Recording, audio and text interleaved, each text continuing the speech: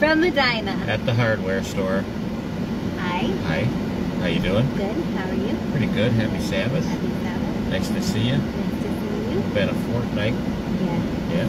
Yeah. Anyways, it's nice to see you. Nice to see you. Yeah. Had doing how's, how's your day going? Good. How's your day? Pretty good. Yeah. Yeah, pretty good. Not too bad. Not too bad. Back with another Bible study.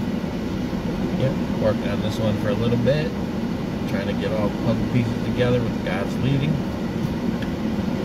Anyways, let's say hi to my mom. Hi Cindy. Hi Kiwi. Hi Ming. Hi Don. Dolores, Victoria, Ed, Felicia, Emily, Ray Fouché, Yeah. um, everybody, hello. Hope you're doing well. We're doing pretty good. It's hot out. It is. Transitioning into that summer weather. It says it's 100 out here. I don't the believe car it. thing Yeah. says it's a hundred. That's crazy. It feels pretty hot. It's pretty hot. Any, I'm a polar bear. I like the winter. Yeah. Yeah. I ain't too good in the summer. Well, you live in the right place then, because Yeah. it's like winter six months out of the Yeah, year yeah. here. So So you ready to pray and start the Bible study? I'm ready. All right, let's pray. Let me take my hat off. Heavenly Father, thank you for opportunity to pray with my wife and with our family on the internet. We ask that you'd fill us with your spirit, speak through us, hide us in your hand, and just help us, Lord, to understand the different things that you would have us to understand as we get to know and you, uh, you better. Thank you for Jesus. Thank you for your spirit. In your son's name we pray. Amen. Amen. Amen. Okay, everybody. It's nice to see everybody. Uh, the Hecox, hello. Jay, Clarissa, and your little cutie, hello. So today we're going to talk about the moral monster of the Old Testament. Now, this is going to be a tough one in the sense that we're so used to seeing God in the Old Testament be a moral monster, but is it really him or is somebody counterfeiting the position and standing in the place of God? uh, pretending to be God and deceiving us through satanic principles. That's, uh, that's what we're going to study today. First John chapter 4, verse 8. He that loves not knows not God, for God is love. Key component to understanding the Bible and understanding God is that God is love. God is agape. Psalm 18, verse 30 says, God is perfect. Malachi chapter 3, verse 6 says that God is unchangeable.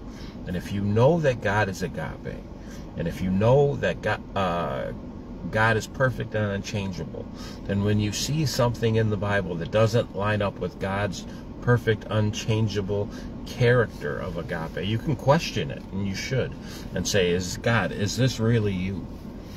We got three core Bible study principles. We always use them. Core principle number one God is agape. 1 Corinthians 13 is the agape chapter. It describes agape for us very well. And when you juice that down, you see three components. One is self control, one is considering others more important than you consider yourself. And another component is that agape isn't personally offended by sin. This is exactly who God is. Our second core Bible study principle is that Jesus is the complete and ultimate revelation of God. If you want to know what the Father is actually like, you need to look into the face of Jesus. John 14, 9.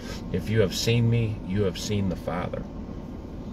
Our third core Bible study principle is that biblical principle explains the scriptures, and scripture explains biblical principle.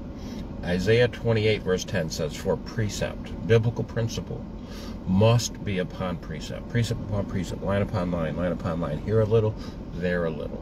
And today's Bible study, we're going to talk about the moral monster of the Old Testament. And then you look at the Old Testament, there is a, absolutely a moral monster overseeing God's people. And is this the one true God, the Father, the Father of Jesus? Or is this Satan standing in the place of God, pretending to be God? In the last Bible study, we talked about the character, the method, and the principles of Satan. And what we saw was that Scripture was explaining Satan in a specific way. We saw that in Revelation chapter 12, verse 9, that he was a deceiver. We saw in Revelation chapter 12, verse 10, that he was an accuser. We saw in Revelation, or excuse me, we saw in John chapter 8, verse 44, that Satan was a liar and a murderer. We saw in 2 Corinthians 11:14 that Satan can transform into an angel of light. These are all important passages. We generally know these passages. I don't need to read every single one. Second Thessalonians chapter 2 verse 9 says that Satan has the power to use lying signs and wonders. All of these things are very important when it comes to reading the Old Testament because when you see a being who's accusing, who's lying, who's murdering, who's doing all these signs and wonders in the place of God, in the name of God, and it completely contradicts the character of God's agape love. We need to really question is this God or Satan? And there are verses in the Bible that show us that this could actually be Satan. Matthew chapter 4, verses 1 through 11, we saw the temptation when Satan was interacting with Jesus. And the thing that we saw last Bible study was that Satan knew the scriptures very well, but he was twisting them in such a way that he was causing or trying to cause Jesus to no longer view scripture from God's perspective, but he wanted Jesus to view scripture in a selfish way, a self-centered way. Jesus refused to do it. And so each one of these passages, New Testament passages, and all of these are warnings about the character of Satan, right? About how Satan lies, how he deceives, how he transforms himself into something that he is not an angel of light, an angel of God, so that he can twist, warp, and deceive us into misunderstanding God and misunderstanding the scriptures. These are all New Testament passages, and these are warnings in the New Testament. And if these New Testament passages, which warn us to be careful of Satan, wouldn't Satan be able to do the same things to people in the Old Testament? It's very important to ask that question. And I believe that he was able to. And I believe that the Bible tells us how to see Satan masquerading as an angel of light in the Old Testament. So, Mark chapter 3, verse 22. Mark chapter 3, verse 22 says this And the scribes which came down from Jerusalem said, He, Jesus, hath Beelzebub, Satan, the prince of devils, casts out he devils. So the, uh, the scribes were saying that Jesus casts out devils by the spirit of devils. And this is Jesus' response. And he called them unto him and said unto them in parables, How can Satan cast out Satan? Now that's a question, right? How can Satan cast out Satan? And if a kingdom be divided against itself, that kingdom cannot stand. And if a house be divided against itself, that house cannot stand. And if Satan rise up against Satan, he will be divided. He cannot stand, but hath an end. So Jesus is not saying which we commonly assume that Satan can't cast himself out. That's what we all believe. Satan can't cast himself out. Jesus is saying that this is something that Satan does, but because Satan does this, there's an end that's going to come. So Satan casts himself out through the knowledge of good and evil. Now, this is what's called order out of chaos, right? The knowledge of good and evil has two sides. It has a good side, which is satanic, and it has an evil side, which is satanic. And through the knowledge of good and evil, the good side creates the order, which the evil side creates the chaos, and the good side of Satan's system casts out the evil side. This is order out of chaos. Satan first incites and instigates the chaos through the supposed evil, and then he rises up as an agent of order through the good side to stop the chaos that he created. So both the order and the chaos, which um, probably a lot of us know about order out of chaos. It's uh, the secret societies use this principle to govern over mankind. It's the uh, Hegelian dialectic. It's um, thesis, antithesis, synthesis. Both of these, each side, they seem like they oppose each other. They don't. Both sides are the character, method, and principles of Satan. One simply represents the good side in the knowledge of evil, and the other represents the evil side in the knowledge of good and evil. But both sides are the character, method, and the principles of Satan. So both are satanic. So when Jesus says, Can Satan cast out Satan?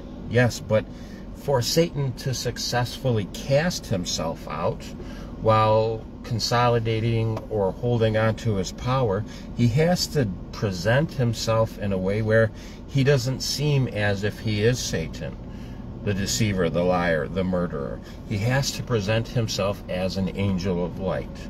And so once people believe that the order through the chaos, once they believe that the order which is being established is actually from God, then Satan can introduce different satanic principles to people and they will think that these principles come from God. So this is the foundation of today's Bible study is that Satan who is the ruler and king of all those who live by the knowledge of good and evil. It's a double sided system. He uses order out of chaos, he uses the good to oversee the evil, to deceive, and to lie about the character, of the method, and the principles of God. And 2 Corinthians chapter 3, verse 13, we know this all probably by heart by now but that there's a veil over the New Testament. This veil is a satanic covering so that we cannot see the character of God. 2 Corinthians chapter 3 verse 13 says this, And not as Moses, which put a veil over his face, that the children of Israel could not steadfastly look to the end of that which was abolished. But their minds were blinded, for until this day remains the same veil untaken away in the reading of the Old Testament, which veil is done away in Christ. But even unto this day, when Moses is read, the veil is upon the heart. Nevertheless, when it shall turn to the Lord, the veil shall be taken away. We've done a lot of Bible studies on this. Most of us who come to these Bible studies understand that you have to read the Old Testament through the revelation of Jesus. 2 Corinthians uh, 4 4 continues on about talking about the veil, in whom the God of this world has blinded the minds of them which believe not.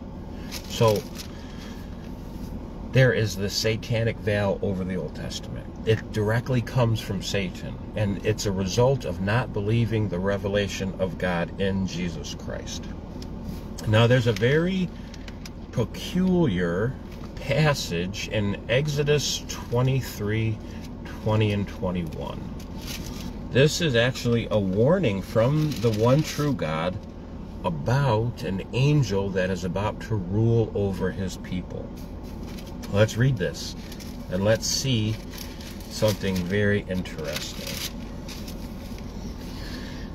Exodus 23 20 and 21. Behold, I send an angel before thee to keep thee in the way and to bring thee into the place which I have prepared. Beware of him. Obey his voice. Provoke him not, for he will not pardon your transgressions, for my name is in him. Now, this is a warning. God is telling his people, be, be careful. There is an angel over you. Do not provoke him. He will not forgive your sins. And he also says, My name is in him. Now, it's pretty clear here that God is warning the children of Israel that an evil angel is about to be over them. Now, before we talk about why this is an evil angel, we want to ask the question why would God allow this to take place? And for those of you who are familiar with um, King Saul, the people demanded a king God was their king, but the people did not want God as their king, so they demanded a king. And after God warned them about the consequences of having a human king, the people still demanded a king. So God allowed it. But later on in the scriptures, and I believe it's Hosea 13:10, it says, "In my anger I gave them a king." But God didn't actually give the people a king. It's what the people wanted. So as we begin to investigate, we're going to see what kind of God the people of Israel who come out of Egypt actually want. And we're going to see that their preconceived ideas about the God that they wanted enabled Lucifer to step into the place of God. Exodus 15, 1 through 3. Now, Exodus 15 is right after the children of Israel crossed the sea. And here we go.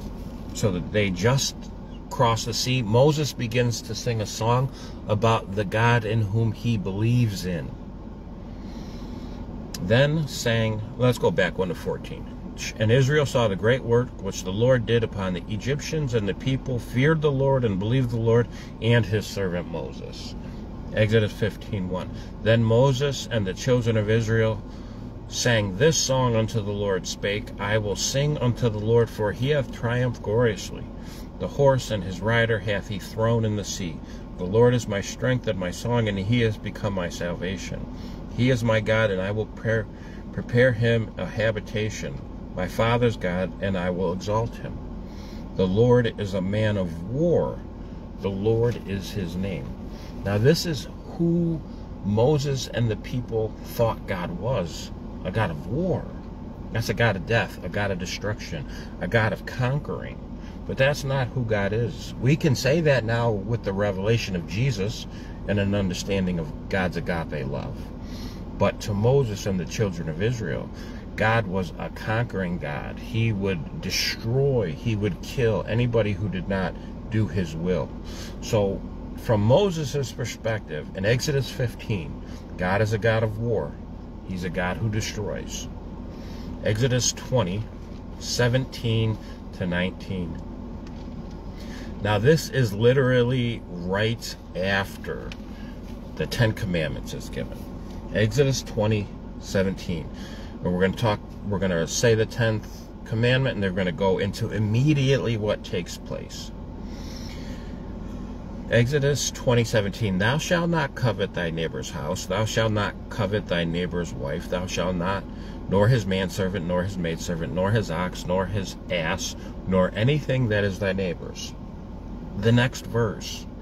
And all the people saw the lightnings and thunders and the noise of the trumpet and the mountain and the smoking and when the people saw it they removed and stood afar off. And they said unto Moses speak thou with us. We will hear you, but let not God speak to us, lest we die. And so, what we see in these two passages is a misconception about the character of God, thinking that God is a a God of war, a God of destruction, a God of murder. And then once the Ten Commandments are given, which is a revelation of God's character, it's a character of love, the people are afraid of God and they no longer want to talk to him. Now, this is very important about the hedge of protection and the deceiver coming in and taking the place of the God that they believe God is, a God of war. Psalm 119, verse 105 says, Thy word is a lamp unto my feet and a light unto my path. God's word is a hedge of protection that protects us because God's word are literally the life giving words that make life possible. When we reject God and His words, there's a, a, a, hedge of protection that is broken down. And once that takes place, Satan is able to come in. And once he comes in, he is the one who will destroy. This is exactly what Ecclesiastes 10.8 says. Ecclesiastes 10, I went a little far. Ecclesiastes 10:8. He that digs a pit shall fall into it, and whoso breaks a hedge, a serpent shall bite. So once the people reject God, literally immediately after the Ten Commandments, a hedge of protection is broken down, and Satan begins to step in. And what we see in Exodus 23 is God articulating that this is what's taking place. Now, there is this verse which we should address it Psalm 78 14. It can seem like God is the one who is sending evil angels. And sometimes that's how the Bible phrases it. But we're going to see that it's a misunderstanding of people as they wrote. And that there's deeper revelations of the character of God as we journey through Scripture. Psalm 78:14 says, Psalm 78:49. He cast upon them the fierceness of his anger and wrath and indignation and trouble by sending evil angels among them. That's what the Bible says. And it's hard to discuss with people what literally the Bible says. It literally says God sent evil angels. So you have to know the character of God. This is why understanding the character of God is so important because God, who is perfect and unchangeable, will never do anything outside of his character. 1 Corinthians 13:5 says this. 1 Corinthians 13:5 Agape. Is the love chapter. Agape does not behave itself inappropriately. Agape does not think its own. Agape is not easily provoked. Agape thinks no evil. Now, Psalm 78:49 says that God sent evil angels among them. That cannot be true because for God to send evil angels means that he had to think to do that. Right? You can't do something unless you think about it first. And when you look at the revelation of God in his son Jesus Christ, it's very clear that God does not ever think any evil thoughts nor can he send evil upon people. But whoever wrote Psalm 78, 49, he had a misconception of God. The full revelation of God was not there. He had a partial understanding, right? And so as we know agape, as we see what God is like in the face of Jesus Christ, we can say that God definitely did not send evil angels. But the people were putting themselves in a position where the, a hedge of protection was broken down and God allowed the evil angels to come. The same way that the Bible says that God gave them a king, but he didn't. It's what the people wanted. And we saw the mindset of the people. They wanted a God of war, right? They didn't want they didn't want to actually talk to God. So, did God allow evil angels to come? He did. But he was giving them warnings of what was about to play, take place. God warned the people that a destroying angel would come in his name. Now that's important because just because something comes in your name doesn't mean that it's from you. Matthew 24 5. Matthew chapter 24, verse 5 says this For many shall come in my name, saying that I am Christ, and shall deceive many. Right? People come in Christ's name saying that they are Christ, but it's a deception. This was a prophecy of what the future would happen in the future. How Satan will absolutely do the same thing in the past. We just have to have the critical thinking, the leading of the Spirit, to be able to see it. So we have the children of Israel desiring a God of war. We have the children of Israel not wanting to have a direct connection to God. And then we have a warning in Exodus 23 that there is an angel coming that you need to be aware of. You need to be very careful because he will hurt you and he's going to come in my name. Just because he comes in the name of God does not mean he represents God's angel or does not mean that he represents God. And when you look in the Bible, the holy angels of God always line up their character with the character of the Father. Now, this is important. The word holy means complete, it means undivided. So, to have a holy character simply means that they have uh, an unbroken character. It's not divided. It's one in the sense that it's complete agape because that's what they um, received from the Father. And when you, let's look at some passages, and we'll see that the angels the good holy angels, are in unity with the character of God. Second Peter chapter 2 verse 10.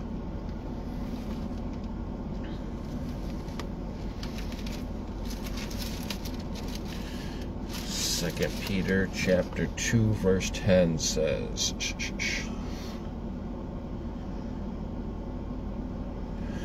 But chiefly them that walk after the flesh, in the lust of uncleanness, and despise government. Presumptuous are they, self willed. They are not afraid to speak evil of dignities. Whereas angels, which are greater in power and might, bring not railing accusation against them before the Lord. So, God's angels, they're not accusers. Satan is the accuser. And when we look at actually what the angels participate in. They participate in the full character of God's agape love. Isaiah 6, 5. So the angels don't, the good angels don't accuse. Only the satanic ones accuse.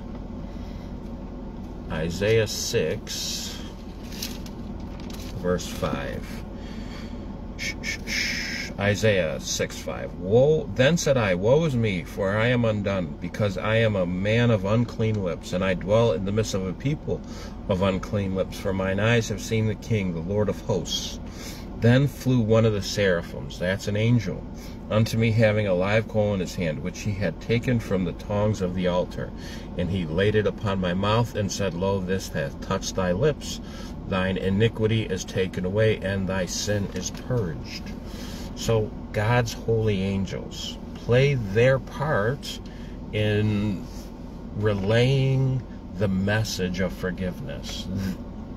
This is going to be important because in a minute, when we look back at that Exodus 23 passage about the, the, the evil angel, this angel is not a holy angel.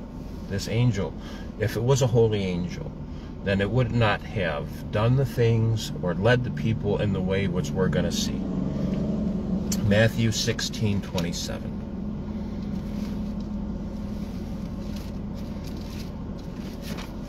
Matthew 16 27. For the Son of Man shall come in the glory of his Father. Now, that glory is the character. When you look at Exodus 33 and 34, Moses asks God, Show me your glory. And what God shows Moses is his character. So whenever you see that word glory, it's always connected to the character. For the Son of Man shall come in the character of his Father with his angels. Then shall he reward every man according to his works. So we three we see th three things. We see the Father, the Son, and the angels. These three are coming together because they're united in the same character of God's agape love. Because these holy angels participate in the character, of the method, and the principles of God's agape love. So at the second coming, they come united with Christ in the same glory, which is just a revelation that they're coming with the same character. Now, we're going to see can these good angels and these bad angels, can they both do the work of God? Amos chapter 3 3.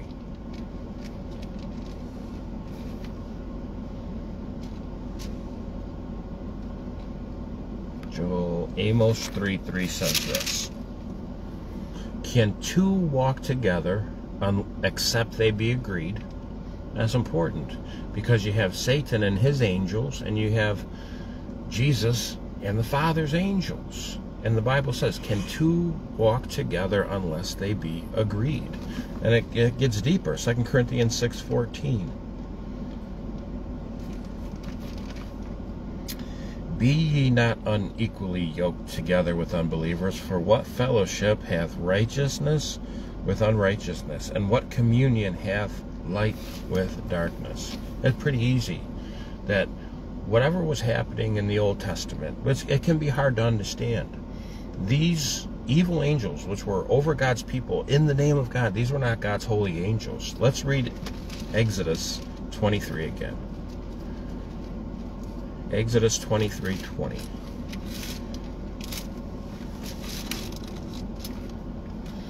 Now, this is after the children of Israel rejected a personal connection to God. This is after they sang a song to the God of war. This is after the, the Ten Commandments. This is a warning. Behold, I send an angel before thee to keep thee in the way and to bring thee in the place which I have prepared. Beware of him and obey his voice. Provoke him not. He will not pardon your transgressions, for my name is in him. Now, this angel is not the same character of God. This angel is looking to punish. This angel is looking for sin. It's important to understand the pretext behind some of the things we're going to read in a minute. If if you're walking with this angel and you sin, he's going to look for your sin and he is going to look to punish you.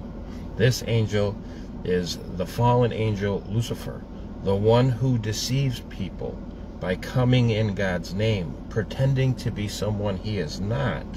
And there is absolutely evidence of this taking place in the Bible. So let's look at some scriptural passages where in one place it says God for sure did this. And then later, after different revelations take place, it says, no, this was absolutely Satan. 2 Samuel 24 1.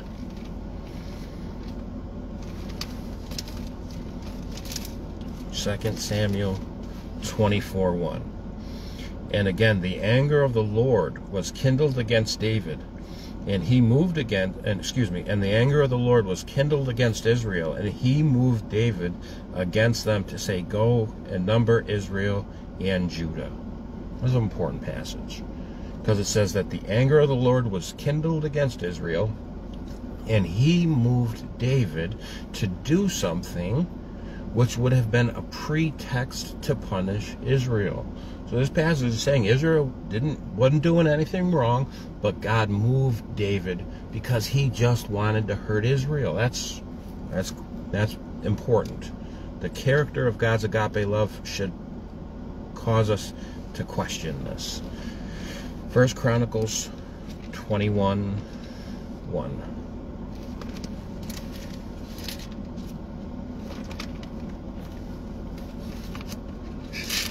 First Chronicles. I'm in Second Chronicles. Same story. And Satan stood up against Israel and provoked David to number Israel. Now, this can be a hard pill to swallow because we want to have the Old Testament be something so pure that it's not something that we have to worry about knowing if it's God or Satan. But that's not the reality that we have to deal with.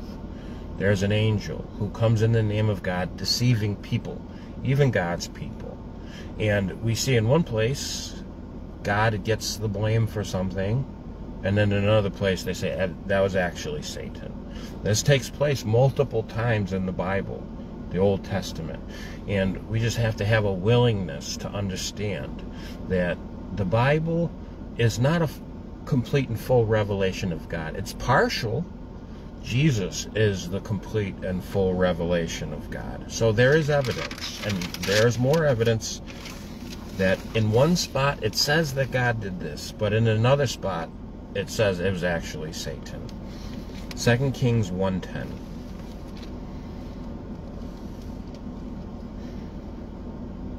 2 Kings chapter 1, verse 10.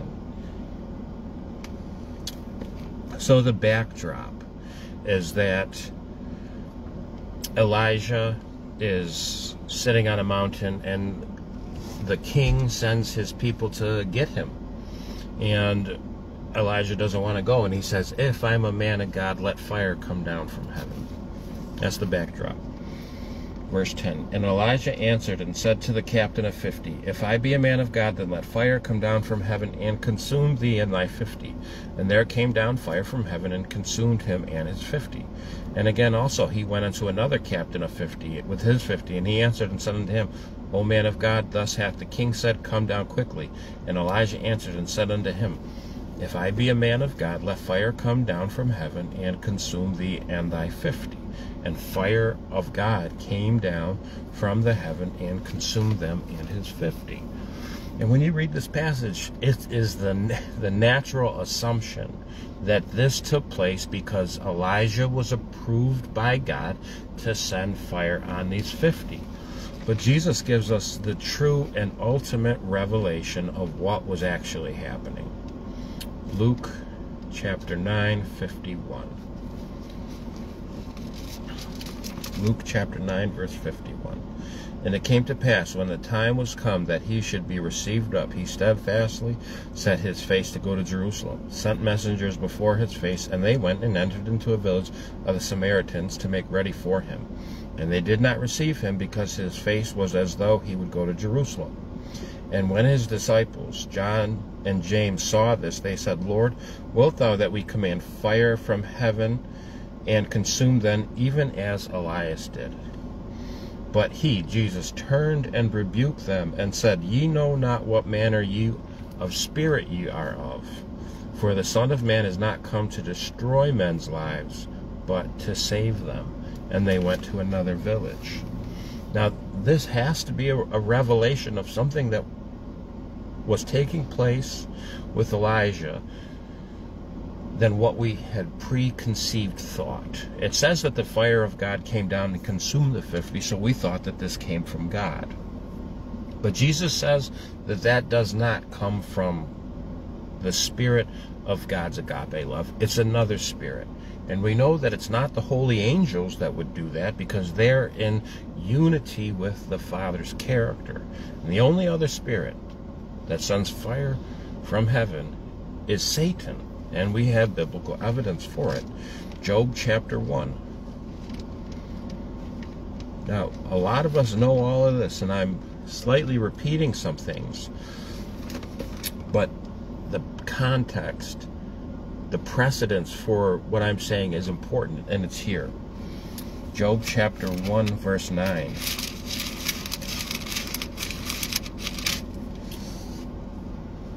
Then Satan answered the Lord and said, Doth Job fear God for nothing? Have you not made a hedge about him and about his house and about all that he hath on every side? Hast thou blessed the work of his hands, and the substance in his hand is in, the substance of his hand is increased in the land? But put forth thine hand now, touch all that he has, and he will curse thee to the face. And the Lord said unto Satan, Behold, all that he has is in your power.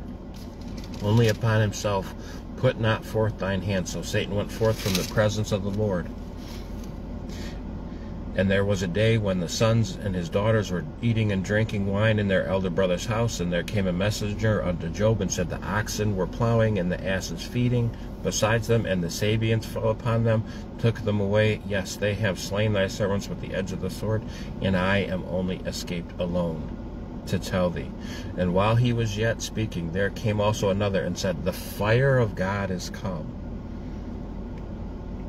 is fallen from heaven, and hath burned up the sheep and the servants, and has consumed them. So, the fire that comes down to consume men's lives is Satan. God gets the blame. But there is absolutely more than enough evidence throughout the Old Testament that in one place it says that God did it, but in another place it says that God did not do it. And we have a choice to make. We can either believe the actual words of Jesus, right? Or we can just go by our own reasoning and say, no, I want a God of war. I want a God who destroys men's lives. But Satan is a deceiver. He's deceived the whole world into thinking that God is to something that he is not. So we need to really make a choice. Either I'm going to be my own deciding factor of what the character of God is, or I need to let Jesus do that. Jesus says, If you've seen me, you have seen the Father. There's not a greater revelation of God but in the face of Jesus. If I supersede the words of Jesus and I go to define God in my own, then the deception which Satan hath introduced into the world hath fallen upon my mind. That's just a reality check. And there's many, many passages, many passages in the Bible that it's actually Satan doing the work. One of those passages that I wanted to talk about was the story of Joshua and Achan. Now, again, there's a lot of passages, but there's a specific satanic principle being displayed in Joshua chapter 7. This is why I want to focus on the story of Joshua and Achan because in this story, again, there's a lot of other stories, but specifically this one, this is where Satan uses order out of chaos, right? There's a specific chaos that is created because of the sin of Achan. And what Satan introduces, taking the place of God, is something that's very diabolical and we end up attributing a satanic principle to God. And what we're going to see is that in the story of Joshua and Achan, that this is actually Satan casting out Satan. It's the scapegoat mechanism, which by God's grace, that will be the next Bible study. But what we're going to see is that there's a chaos, there's a conflict, and there's a resolution. This is what the scapegoat mechanism is all about. It's a satanic principle. And what we're going to see is that as Satan casts out Satan, there becomes a reason for a lack of blessing in the lives of people, which is the result of sin. This is the this is the chaos. And when the person who is blamed for the sin or who is the cause of sin is exposed or decided upon, the the this unites the group of people around the source of chaos. And the person who brought the sin into the camp is blamed for the reason why there's no more blessing. He's responsible for the chaos. This unites the people to kill this person. This is pagan. This is this is the scapegoat mechanism. This is Satan casting out Satan. And because it's in the Bible, in the book of Joshua, we see that, we think that it's a, a, a biblical thing and okay. But with the revelation of it, Exodus 23, 20, and 21, an angel coming in the name of the Lord who's looking to punish, who's looking to do things that will go against the people, we could say this is actually Satan doing this. So, order out of chaos, the scapegoat mechanism. There's going to be a con- there's going to be chaos, there's going to be a conflict, and there's going to be a resolution. And it is all wrapped around the character, the method, and the principles of Satan. There's, there's nothing divine or agape in this scenario. So, Joshua chapter 7, let's re read it quickly.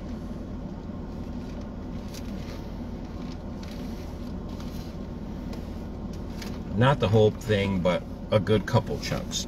Joshua chapter 7. But the children of Israel committed a sin in the accursed thing. For Achan, the son of Carmi, the son of Zabdi, the son of Zerah, the, of the tribe of Judah, took the accursed thing, and the anger of the Lord was kindled against the children of Israel. Now, we can't forget that God told us of an angel that would not forgive the people of their sins and he would punish them and he would come in God's name. It's important. And Joshua sent men from Jericho to Ai beside Bethaven on the east side of Bethel and spake to them, saying, Go and view the country. And the men went up and viewed Ai, and they returned to Joshua and said unto him, Let not all the people go up, but about two or three thousand men go and kill Ai, and make not all the people to labor there, but a few. And the men of Ai, and it says, So there went up about of the people 3,000 men, and they fled before the men of Ai. So there's a crisis. And the men of Ai smote them about 36 men, for they chased them from before the gate even to Shebarim, and smote them in the going down. Therefore the heart of the people melted and became as water. And Joshua tore his clothes, fell upon the earth, upon his face before the ark of the Lord until the evening. And he and the elders of Israel put dust upon their heads. And Joshua said, Alas, O Lord God, wherefore hast thou at all brought this people over Jordan to deliver us into the hand of the Amorites, to destroy us? Would to God we had been content and dwell on the other side of Jordan. O Lord, what shall I say when Israel turns their backs before their enemies? For the Canaanites and all the inhabitants of the land shall hear it, and shall environ us around, and cut us off our name from the earth. And what wilt thou do, thy great name? And the Lord said unto Joshua, Get thee up, therefore liest thou upon thy face. Israel has sinned, and they have also transgressed my covenant which I have commanded them, for they have even taken of the accursed thing, and have also stolen and disassembled, and they have put it even among their stuff. So there's a conflict. There's a crisis taking place. And what God begins, what the person in the position of God begins to do is he begins to point out specifically one individual for the reason for all this conflict and it's only this one person in the camp which is sinning. It's impossible. It's literally impossible. And what we see in verse 16. So Joshua rose up in the morning. Let me go back one. Therefore the children of Israel could not stand before their enemies, but turned their backs before their enemies, because they were accursed. Neither will they be with you any more, except you destroy the accursed thing among you. So important and in the morning, therefore, ye... okay, so there's a crisis. The children of Israel cannot stand before their enemies. There's a sinner in the camp who did something he wasn't supposed to do. You can't have your blessings back until you destroy the accursed thing. This is vastly important. The crisis is that the blessings are no longer coming there is a an exposed villain which is the source of the problem and the only resolution is that you have to get rid of this problem. This this is a completely a satanic principle being done in God's name with God's people and when we read it we think that this is how God acts. I used to literally in church when there was an issue in church I would say there's an Achan in the camp we need to find them and get rid of them. So wrong and satanic. But it goes on. Verse 16, So Joshua rose up early in the morning and brought Israel by their tribes, by the tribe of Judah. And he brought the family of Judah, and he took the family of the Zaharites, and he made the family of the Zaharites man by man. And Zabdi was taken, and he brought the household man by man. And Achan, the son of Carmi, the son of Zabdi, the son of Zuri, of the tribe of Judah, was taken. And Joshua said unto Achan, My son, I pray thee, glory to the Lord of Israel, make confession unto him, and tell me what you have done. And Achan answered Joshua and said, Indeed, I have sinned against the Lord of God, and thus, thus have I done. And when I saw the spoils of a goodly Babylonish garment, and two hundred shekels of silver, and a wedge of gold, fifty shekels weight, I coveted them and took them, and behold, they are hid in the earth in the midst of my tent, and the silver under it. Jump down to verse 25. And Joshua said, Why hast thou troubled us?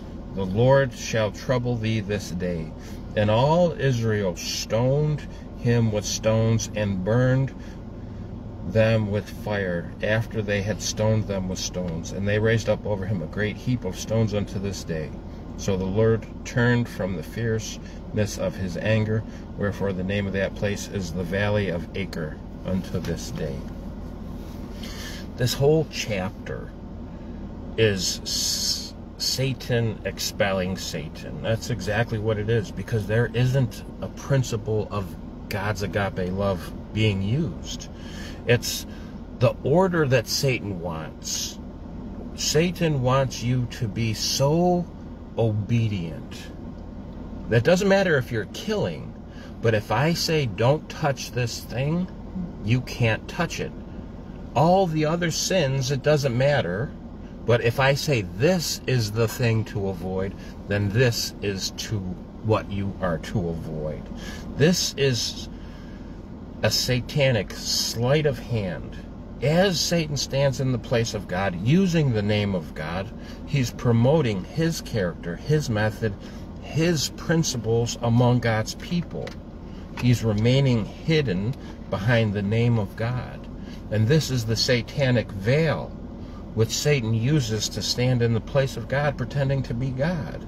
And what Satan is doing is he's introducing a pagan idea into God's people. That the reason why your blessings are being hindered is because of the sinner that is among you. And you cannot have your blessings back until the sinner is destroyed. It's the scapegoat mechanism. It's paganism. And it's all done in God's name so that when people read it, they think that this is how God operates, when it's absolutely not how God operates. And it's the truth is, it's only through the complete and total revelation of God in Jesus Christ can we see past the veil where Satan is hiding behind the name of God. This is the only way to see it. The true revelation of God is in Jesus. His character, His method, His principles are the character, the method, and the principles of the Father. In the Old Testament, when you see anything contradicting the life of Christ, it's contradicting the life of God and it's not God. It's Satan imitating God, right? In the Old Testament, we see Satan imitating God, but Satan isn't imitating God the same way that Jesus imitates God. Jesus' imitation of God is perfect, it's beautiful, and it's always God's agape love. Satan's imitation in the Old Testament is the spirit of arrogance, it's the spirit of pride, it's the spirit of vengeance and rivalry for power. It's Satan's imitation of God in the Old Testament is jealous, it's perverted, it's grotesque in its revelation of the character. It's contrary to everything that God and agape love stands for. Satan's imitation of God in the Old Testament is a counterfeit it's by design to introduce satanic principles in the name of God, thinking that they come from God. In the Old Testament, Satan mimics God and his laws. That's without a doubt a reality.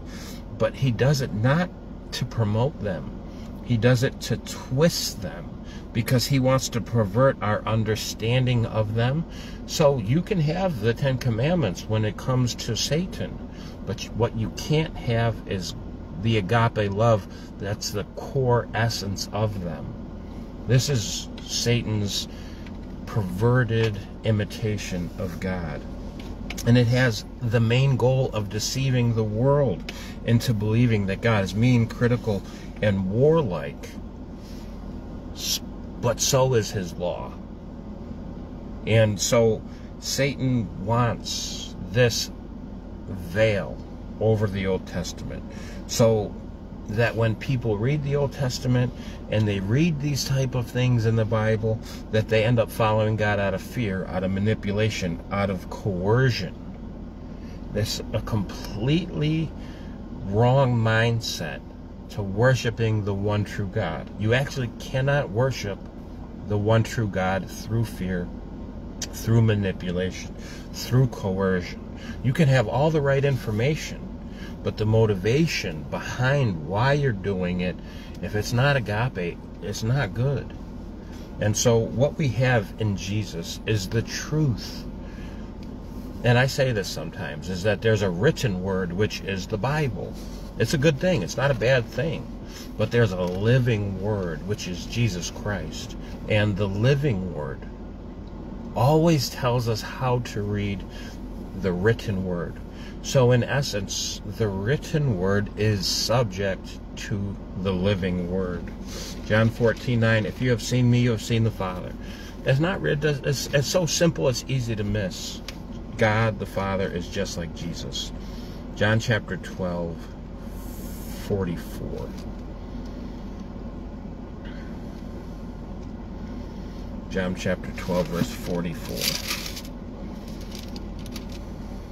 And Jesus cried and said, He that believes on me believes not on me, but on him that sent me. He that has seen me sees him that sent me. I am come a light into the world, that whosoever believes on me should not abide in darkness. That darkness comes from this lies of Satan. John chapter 1 verse 5. Let's read it. 1 John chapter 1 verse 5. This probably be our last verse. 1 John chapter 1 verse 5. This then is the message which we have heard of him and declare unto you, that God is light, and in him is no darkness at all. That is such an important statement, that in God is no darkness. Darkness is death. Darkness is hatred. Darkness is lies. In God there is no death. There is no hatred. There is no lies. God is not the accuser of the brethren who points out one sin and prevents all blessings throughout the entire community until this one person is destroyed by the community. Satanic principles being done in the name of God to promote a satanic agenda. Right? The Bible says that in God is no darkness. Right? The Bible says 1 John 4 4 8 that God is love. God is agape. And so once we understand the character, the method, the principles of God's agape love, and once we understand the character, the method, and the principles of Satan through the knowledge of good and evil, and how there is a counterfeit goodness which is not agape, then we can understand when we read the Old Testament that this couldn't be God because God would never do such a thing. He would never say such a thing. If this isn't agape, if it's not a revelation of what Jesus did as the divine Son of God, then I have to question what is going on here. God is like Jesus, always patient, always kind, always forgiving, always merciful, always gracious. But there was an angel which was allowed over God's people. The same today. It's, just, it's the same as it's always been. Right? There's a hedge of protection around us. It's critical to stay in that. Because when we come out, there's only one being over us, that's Satan. And if we're not careful, same thing will happen in our lives as it did theirs. That the character, method, and principles of Satan, which are done in the name of God, will deceive us and we'll begin to do and say things in the name of God, which are satanic. This is Satan deceiving in the world. And this is something that most of everybody has fallen into. Stick with Jesus Stick with God's agape love and ask for the Spirit to rightly divide the word of truth for you, and you won't be able to go wrong. Let's pray. Heavenly Father, we thank you for seeing us do another Bible study. We thank you for providing one. We thank you for your Spirit to strengthen us. We ask, Lord, that for the rest of the Sabbath day, you just fill us with peace, love, joy, and bless all those who watch us, who are with us, and who will watch it. So thank you for your love. Thank you for Jesus. Thank you for your spirit. In your name we pray. Amen. Amen. Well, thanks everybody for coming. I appreciate y'all.